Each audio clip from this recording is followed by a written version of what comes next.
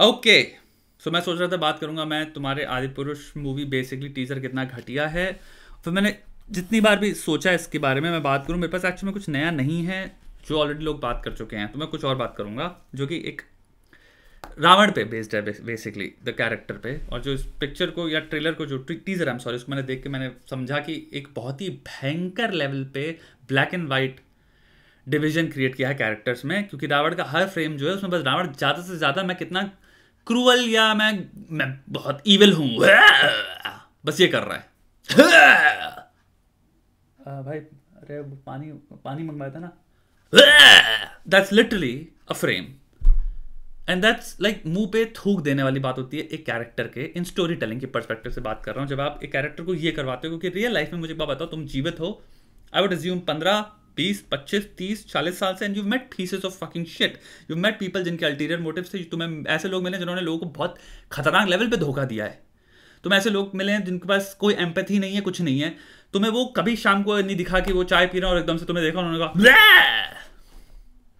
people don't do that movies are largely वो movie कितनी बढ़िया स्टोरी टेलिंग डिपेक्ट करेगी। डिपेंड करता है वो कितना ज़्यादा रियलिटी से लेती है। ट्राई टू अंडरस्टैंड वो कितनी लेस कार्टून से ले रही है और कितना ज़्यादा रियलिटी से ले रही है डिपेंड करता है क्रिएटिवली चॉइस में कि हम मूवी को कितनी मच्योरिटी से परसीव करना चाहते हैं। अगर रामायण आप एक स्टोरी बना रहे थे, आपके दिमाग में है कि हम बस बेवकूफ़ों वाली पिक्चर बना रहे हैं, वो भी जैसे पाँच साल के बच्चों के लिए, या सात साल के बच्चों के लिए। और कार्टून मूवी है देन आई अंडरस्टैंड आपको कोई फालतू के नुआंस ढूँढने की ज़रूरत नहीं है, आपको बेसिक मोरालिटी पे जाना है अच्छा बुरा पे खेलना है एंड आप रावण को एक दिखा सकते हो, बहुत ही evil and like typical reincarnation या इनकारनेशन या embodiment of fucking bad of evil I I get that cartoon बनाओ। तुम इतना बड़ा 500 600 पता नहीं कितने करोड़ों का बजट लेते हो उसके बाद character that you write is the writing standard of a five और six year old and here's what my theory is कोई भी बढ़िया मूवी उठा लो जिसमें एक एंटेगनिस्ट है प्रोटैगनिस्ट है, और लार्जली उन दोनों के बीच में कॉन्फ्लिक्ट चल रही है, जो कि रामायण एक्चुअल में एपिटमी है इस चीज़ को लेकर दे सकते हो। There is a very strong antagonist जिसकी वजह से बहुत तगड़ी सुपर पावर्स हैं। एंड उसने जिस तरह से गेन भी किया है, वो ज्ञानी भी है proper intellectual and he has one flaw that उसको वो जब अपने से डिटैच नहीं कर पाता ऑन द कॉन्ट्री में उसको चेस करता चलाता है चेस करता चलाता है तो he ends up doing something बहुत जो रॉन्ग हो सकता है। एंड द होल ट्रेजेक्टरी उस कैरेक्टर की है कि वो कैसे उसके लिए विनाश का एक पथ क्रिएट कर देती है। ठीक है? तुम्हारे सामने दूसरी तरफ़ है श्री राम स्टोरी कुछ बताने की ज़रूरत नहीं है। श्री रामचंद्र जी, अगर तुम सिंपल बात करो इंडिया की, क्योंकि मूवी इंडिया में बन रही है, लोगों को पता है। People everybody knows Ramayana. कोई ऐसा नहीं कि हम पहली बार कोई इंसान देख रहा होगा अबे, अब क्या होगा? अबे ब्रेक क्यों आ गया यार? No but is to be like people know वो the stories everybody fucking knows Dussehra हुआ है अभी भी, दिवाली भी आने वाली है। लोगों को स्टोरी पता है, हम बचपन से सुनते आ रहे हैं। द पॉइंट इज़ अगर एक मूवी क्रिएट कर रहे हो तो पॉइंट ये होना चाहिए मूवी का कि हमें, मैं कुछ ऐसा एक्सप्लोर करना चाहूँगा स्टोरी में, जो कि लोग भली भांति नहीं जानते। People are not completely familiar with it, and i just don't want to make a movie out of, for the sake of spectacle. जो भी नहीं है इसमें आई विश यही होता। The dumbest idea would have been जो चीज़ सबको पता है, उसको बहुत कूल cool रूप में दिखाते हैं। That would have probably done very well as well but चलो छोड़ो, मैं कह रहा हूँ सबसे बेस्ट चीज़ क्या होती है बहुत बेटर देन मोर मोस्ट चीज़ें क्या होती है? वो है कि आप एक आइडिया को देखते हो और कहते हो, क्या अनएक्सप्लोर्ड है इसमें? एंड अपनी मूवी में मैं उस अनएक्सप्लोर्ड चीज़ को एक्सप्लोर करूँगा ताकि लोगों को एक नया परस्पेक्टिव देखे और लोग मज़ा आ जाए देखने में। एक नया टेस्ट लाएँ या फिर एक नए नज़रिए से देखें उस चीज़ को। रावण एक कैरेक्टर मात उसमें ऐसा है जो कि जितना ज़्यादा श्री राम एक्सप्लोर्ड हैं, देखे गए हैं, लोगों को पता है बचपन से स्टोरी सुना रहे हो, भगवान है। उतना रावण नहीं है। अगर तुम सिंपल इस पिक्चर में क्या करता है कि राइटर या जो भी इसका डायरेक्टर है, वो कहते हैं, भैया, हम हैवी फोकस रखेंगे स्टार्टिंग से एंटेगनिस्ट को बिल्ड करने के लिए। डार्क नाइट मूवी शुरू होती है एंटेगनिस्ट से, एक ब्रैंक रॉबरी से। Try to understand it establish it establishes first the antagonist then तुम्हारा प्रोटैगनिस्ट को हम, क्योंकि उसको पहले पिछली मूवी से हम देखते आ ही रहे हैं। डार्क नाइट क्या है? Just see how complex how utterly complex and menacing the antagonist is evil black and white level पे नहीं है वो। एक कंफ्यूज तुम्हें भी कर देने लेवल पे है, क्योंकि उसकी कुछ बातें उसके कुछ कोर्स उसकी कुछ नज़रिए देखने के ज़िंदगी के ऐसे हैं कि तुम्हारी मोरालिटी भी क्वेश्चन हो जाती है उसमें। तुम भी सोचने लग जाते हो, यार, तुम भी उसकी साइड आ जाते हो कई कई बार. ये होता है एक बढ़िया कैरेक्टर उसको डिफीट करने के लिए जितनी फिर तथा जितनी स्ट्रेंथ और जितने भी चीज़ें लगेंगी टेक्निक्स एंड एवरीथिंग रिजॉल्व वो ऑटोमेटिकली प्रोटैगनिस्ट को बिल्ड कर देता है। ना प्रोटैगनिस्ट को इस पर्टिकुलर स्टोरी में हम ऑलरेडी जानते हैं उसके रिजॉल्व के बारे में प्रिंसिपल्स के बारे में आइडियल्स के बारे में, सब कुछ। तो वो गिवन ऑलरेडी है। मूवी में जब इंसान बैठेगा ना, तब वो स्टार्ट ही करेगा वैसे सोच के उस प्रोटैगनिस्ट को देखने का। कि वो तो जानता है सारी चीज़ें प्रोटैगनिस्ट के बारे में। एंटैगनिस्ट को अगर तुम बिल्ड कर सकते हो नुआंस कर सकते हो, उसको एक थोड़ा सा अलग तरह का कैरेक्टर दे सकते हो कि वो जो भी चल रही है उसके जीवन में चीज़ें, क्या पता हो सकता है अहंकार हो, क्या पता हो सकता है मतलब वही ईगो आ गया उसको कि ओ मैं थोड़ा सा सुपर ह्यूमन बन गया हूँ, मेरे पास ये स्ट्रेंथ मुझको मिल गई है। इतनी सालों की प्रतिज्ञा की वजह से मैं इतना बड़ा ज्ञानी हूँ, जो भी है, और एक गलत पथ, एक गलत पथ पे वो चल गया है।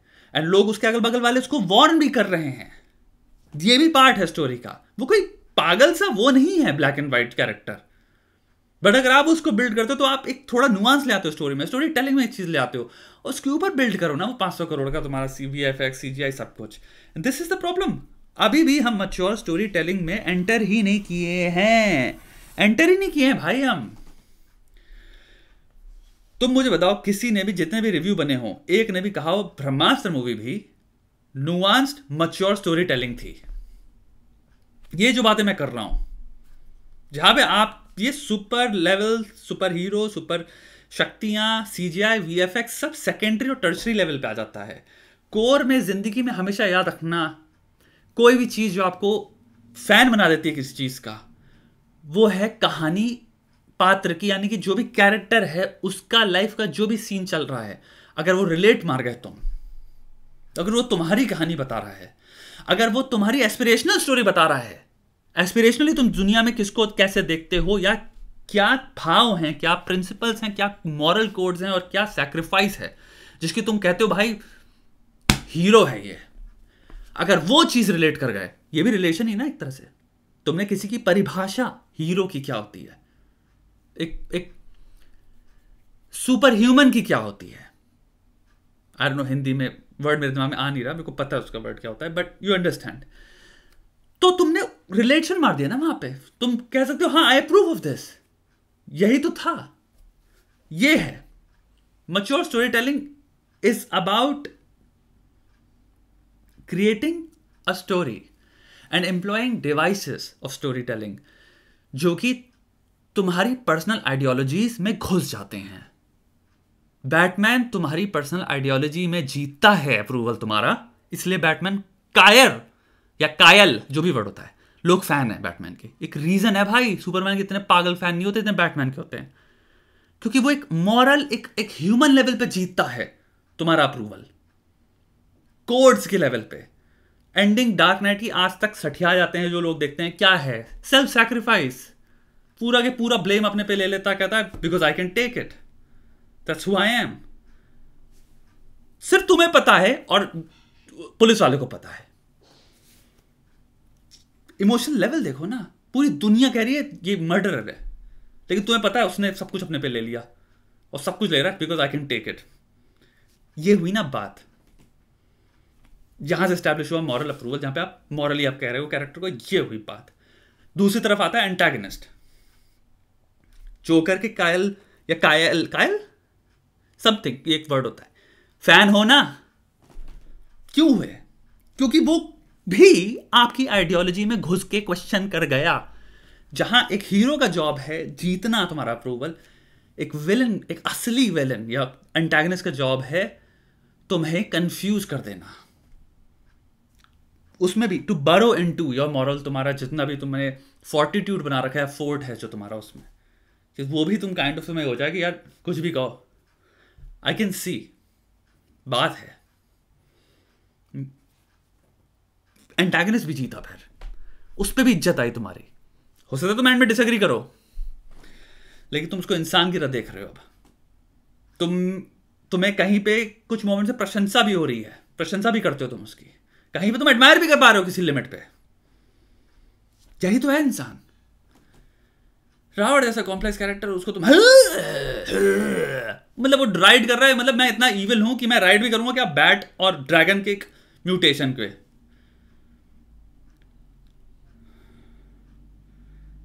मतलब जो रियल कैरेक्टर्स हैं रामायण में, उनको हम पता नहीं किस लेवल की फैंटेसी में बना के क्या बनाना चाह रहे हैं? ड्रैगन उड़ रहे हैं पता नहीं क्या हो रहा है वो श्री राम उनको मार रहे हैं तीर से। मतलब आई डोंट नो पता नहीं जटायु क्या दिखाएँगे ये लोग इस स्टोरी में? पता नहीं क्या बना देंगे उसको। सो so, अच्छा ही है यार लोग जो यू you नो know, वो कर रहे हैं। मेरा कुल मिला के पॉइंट यहाँ पे फिर से ट्रेलर पे वो नहीं करना कि मैं ट्रेलर पे बोलूँ क्योंकि सब वो बोल चुके हैं। मेरा point kind of storytelling पे रहेगा। आर्ट बना रहे हो तुम एक एपिक की बात कर रहे हो। एपिक की बात कर रहे हो, जो कि हज़ारों हज़ारों साल पहले लिखी गई थी, और तुम उसको सीरियसली नहीं लिख पा रहे। तुम उस पर एक दो साल नहीं लगा सकते सिर्फ़ लिखने पे, जिसमें एक एक लाइन एक एक सीन तुम दो सौ बार सोचते हो कि हम क्या बढ़िया तरह से दिखा सकते हैं। तुम पाँच साल लो पढ़ने के लिए। तुम ज़िंदगी भर के लिए इमोर्टल बन जाओगे अगर तुम पुल ऑफ़ कर देते हो। एक अच्छी रामायण। मैं बहुत जेनविन बात बोल रहा हूँ। एक अच्छी महाभारत, एक अच्छी रामायण। प्रॉपरली दिमाग उड़ा दे जो जिसकी storytelling level genuinely Dark Knight के लेवल पे हो। आई अंडरस्टैंड स्टूपिड पैरल्स हैं बट मैं सिर्फ़ स्टोरी टेलिंग के पॉइंट ऑफ़ से बात कर रहा हूँ। The amount of storytelling perfection जो नेल किया है डार्क नाइट के कैरेक्टर्स में स्टोरी टेलिंग में सीन प्रोग्रेशन में एक्टिंग में डायलॉग्स में, जो कन्फ्रंटेशन के डायलॉग्स हैं, भाई स्क्रिप्ट देखो क्या गजब है। कैरेक्टर आर्क देखो। कैरेक्टर क्या क्या लिखे, दोनों के में तेरी डेप्थ है कैरेक्टर्स में। अबे डेप्थ में ही तुम पच्चीस सौ ऐसे हैं यूट्यूब पे पढ़े उसको डिस्कस कर रहे हैं कैरेक्टर्स को। लिखने में टाइम लगता है ऐसी चीज़, सोचने में टाइम लगता है। To come up with ideas for such thing such a thing time लगता है। अबे, तुम रामायण में वो चीज़ अगर कर लो, तुम्हें ऐसे देखना है स्टोरी की तरह देखना है। और उस पर टाइम दो, पढ़ो अगर नहीं है टाइम और जब तक एक ओरिजिनल आइडियाज़ नहीं आ रहे दिमाग में। सो क्रिएटिव इंसान का काम ऐसी होता है, एक तुम उसको विल नहीं कर सकते क्रिएटिविटी को, कोई डेडलाइन नहीं डाल सकता क्रिएटिविटी पे। आएगी अपने आप। जो क्रिएटिव इंसान है उसको पता है। एक दिन पॉटी कर रहे हो कि से आगे आ जाएगा फ़ोन होगा बगल में तो लिखोगे बैठ के। नहीं तो फिर बार बार बोलते रहोगे नाम से कि जाए ना जाए ना जाए ना। नहाते वक्त आएगा तुम्हारे पास। खाना खाते वक्त आएगा, किसी से बात कर रहे हो एकदम से आइडिया आएगा, कहोगे, एक सेकंड रुकना भाई, हम जा रहे लिख रहे हैं। ऐसे सीन्स आते हैं। तो वेट करो ताकि वो क्रिएटिव फकिंग गोल्ड तुम्हारे पास आए। और फिर वो गोल्ड को लगा लगा के, लगा लगा के scene by scene by scene by scene construct करो पिक्चर को। ये बाइनरीज में ओवर सिंप्लीफिकेशन में रावण बैड है तो वो बैड है तो क्या कर रहा है? अजीब सा अजीब सा पता नहीं क्या हेयर हेयर कट और हेयर स्टाइल पता नहीं क्या नॉर्डिक वो बना हुआ है। लेदर पहन रखी सबने ग्रेको रोमन सोल्जर्स बने हुए हैं। मॉडल कॉम्बैट से बराका उठाया लॉर्ड ऑफ़ द रिंग से ऑर्क्स उठाए, उनको कंबाइन मार के रावण की आर्मी बना दी। पता नहीं क्या चल रहा है भाई।